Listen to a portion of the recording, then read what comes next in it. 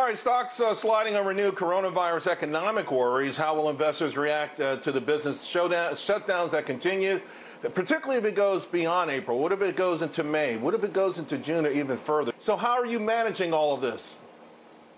Well, I think you just you got to take this in strides and just realize there are going to be some ups and downs here, but there are opportunities to take advantage of.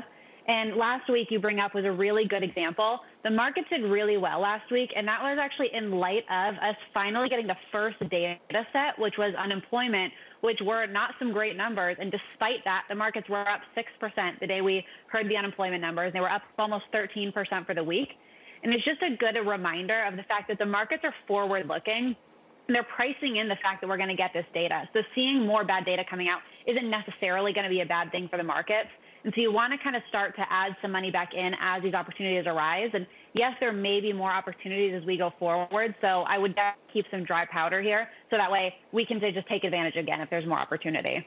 Where are you looking? Uh, you, you talk about adding over the next couple of weeks, Courtney. Uh, is there mm-hmm. any specific area? Because it feels like leadership is changing here a little bit.